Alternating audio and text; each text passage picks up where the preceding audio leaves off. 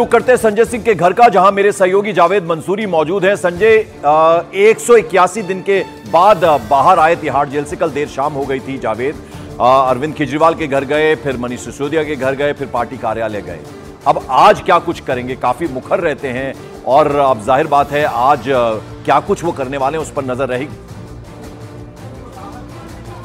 देखिए बीती रात दो तीन बजे तक वो कार्यक्रम समर्थकों से मिलते रहे और जो आज उनका कार्यक्रम है, वो सुबह 10 बजे हनुमान मंदिर जाएँगे, संजय सिंह वहाँ पर माथा टेकेंगे, उसके बाद रात हमारी मौजूदगी संजय सिंह के आवास पर है, जो कि नॉर्थ एवेन्यू में है। और देखिए, अब जो ये लगे हुए हैं, आई सपोर्ट संजय सिंह के बैनर।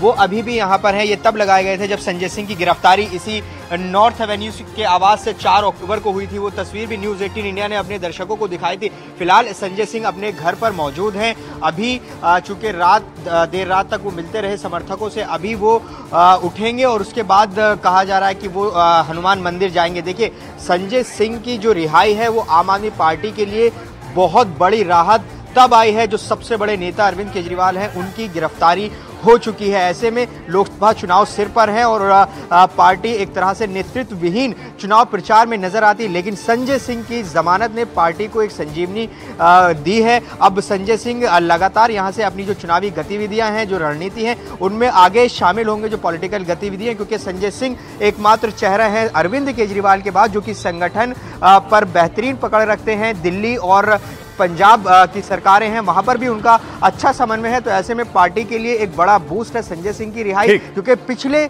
कई साल से हम देख रहे हैं लगातार आबकारी नीति मामले में आम आदमी पार्टी की मुश्किलें बढ़ ही रही थी और अब संजय सिंह की रिहाई से न सिर्फ़ पार्टी को फ़ायदा होगा बल्कि उस नैरेटिव को भी दिशा मिलेगी जिसमें आम आदमी पार्टी ये कहती रही है कि जो आबकारी नीति में गलत तरीके से फंसाया गया है वो भी गलत है और इसी को सबसे बड़ी दलील आम आदमी पार्टी बनाकर पेश करेगी। जी। जावेद आप नज़र बनाए रखिए कुछ देर बाद जैसा कि जावेद ही बता रहे थे हनुमान मंदिर के लिए रवाना रवाना होंगे, वो तस्वीर भी हम आपको दिखाएँगे। संजय सिंह के जेल से छूटने पर उनकी पत्नी ने खुशी तो जताई, लेकिन यह भी साफ़ कर दिया कि जब तक अरविंद केजरीवाल, मनीष सिसोदिया और सत्येंद्र जैन रिहा नहीं होते, तब तक कोई जश्न नहीं मनाया जाएगा, ये कह दिया अनिता जी, क्या कहना चाहेंगी? पहला रिएक्शन छह महीने बाद घर पहुँचे हैं। आपने ये पूरा छह महीने का क्या फ़र्क देखते हैं तब में और अब में? नहीं छः महीने में जैसे संजय जी नहीं थे तो घर में थोड़ा सा था। लेकिन जैसे वो बाहर आए पहले वो आ, बड़े भाई जो अरविंद जी है जो पूरा दायित्व तो, उन्होंने हम लोग के लिए संभाला था।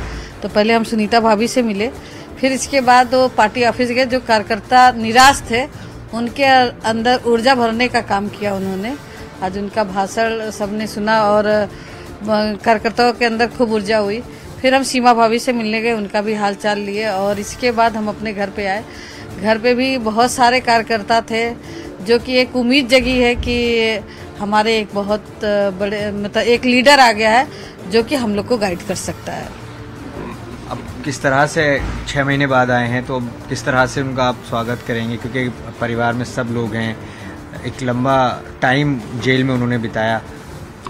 नहीं स्वागत नहीं बस ए, एक जैसे अभी स्वागत का समय नहीं है। और जब तक हमारे तीन भाई हैं, अभी जेल में हैं, अरविंद जी, मनीष जी और सत्येंद्र जी, जब तक वो बात, बाहर नहीं आते तो कोई मतलब स्वागत नहीं, कोई पार्टी नहीं, ऐसा कुछ नहीं है। कैमरा पर्सन जयपाल रावत के साथ Javed Mansoori, news eighteen India, Delhi. और मॉर्निंग प्राइम uh, में अब आपको एक इंटरेस्टिंग तस्वीर दिखाते हैं। संजय सिंह के जेल जाने के बाद अपने बाल और दाढ़ी नाक कटवाने की कसम खाने वाले उनके साथी अजीत सिंह भी अब अपनी सौगंध तोड़ने के लिए राज़ी हो गए हैं। जरा देखिए क्या कह रहे हैं। आपकी कहानी भी बड़ी इंटरेस्टिंग है। आपने दाढ़ी नहीं कटवाई जिस दिन से वो अरेस्ट हुए हैं। क्या है सही है? हाँ सही है। मतलब हमने सोचा कि जिस तरीके से उनको सताया जा रहा है एक बेगुनाह को जेल में डालकर तो हमने सोचा जो जो वो महसूस कर रहे हैं वो हम भी महसूस करें ना मैंने कभी दाढ़ी रखी ना कभी बड़े बाल रखे। हम्म। तो मैंने सोचा कि एक जेल उनके लिए एक जेल मेरे लिए। हम्म।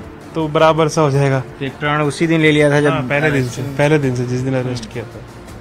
कितनी मुश्किल आपको हुई और ये पूरा सफ़र कैसे रहा? क्योंकि हम देखते थे कि जब भी कोर्ट का आना जाना हो या तमाम जो सारी चीज़ें हैं उसमें भी आप बाद में दिखाई देते थे। मुश्किलें तो हैं अब संजय भैया बाहर रहते हैं तो हज़ारों लोगों के काम कर पाते हैं।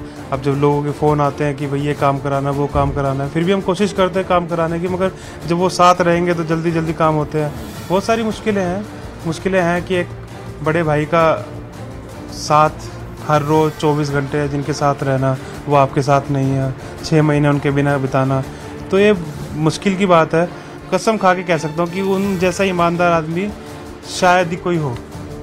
मैं उनके साथ रहता हूँ चौबीस घंटे में जानता हूँ। एक रुपये का भी कोई ये बात कही थी कि कोई रिकवरी नहीं हुई है ये कोर्ट ने भी कहा। जब ये बात सुनी आपने तो उस वक्त आपको लगा कि कोर्ट ने सच का साथ दिया हम्म। और झूठ को नकार दिया। कैमरा पर्सन जयपाल रावत के साथ Javed Mansoori news eighteen India Delhi. और मॉर्निंग प्राइम में अब आपको दिखाते हैं कल देर शाम जब तिहाड़ जेल से संजय सिंह बाहर आए उन्होंने क्या क्या किया कहाँ कहाँ गए। पूरी रिपोर्ट देखें।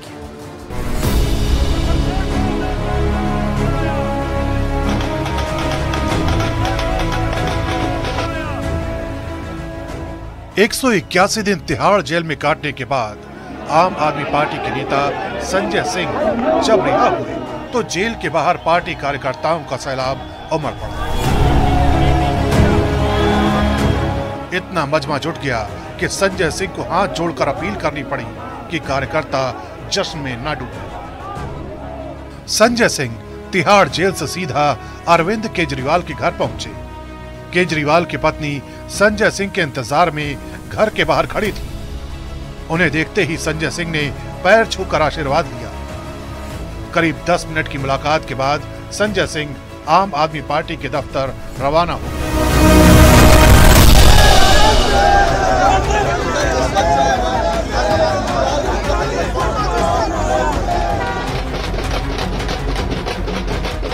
पार्टी दफ्तर में स्वागत की पूरी तैयारी थी। कार्यकर्ताओं की भीड़ जुटी थी।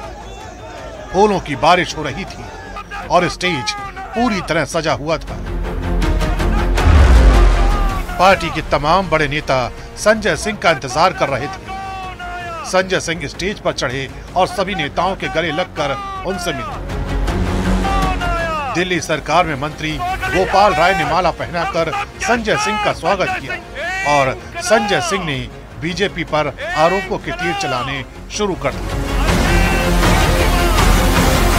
जब तक केजरीवाल जी जेल में हैं, हम दस गुना ज़्यादा मेहनत करेंगे और जेल का जवाब वोट से देंगे। जेल का जवाब जेल का जवाब जेल का जवाब जेल का जवाब क्योंकि इसी में तो सबसे ज़्यादा ताकत है।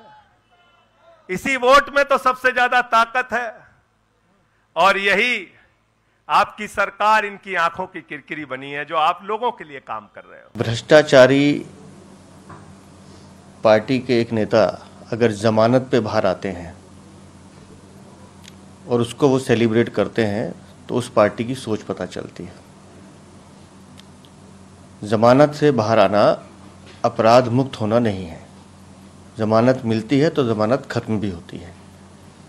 उस आरोपी या अपराधी को उसकी नियमों का पालन करना पड़ता है। पार्टी के कार्यकर्ताओं को जोश से भरने के बाद रात सवा ग्यारह बजे के करीब संजय सिंह दिल्ली के पूर्व डिप्टी सीएम मनीष सिसोदिया के घर पहुँचे और उनकी पत्नी सीमा सिसोदिया से मिले।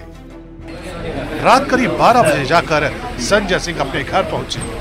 छह महीने बाद जब वो घर लौटे तो उनके रिश्तेदारों और समर्थकों ने लड्डू खिलाकर और फूल बरसाकर उनका स्वागत किया।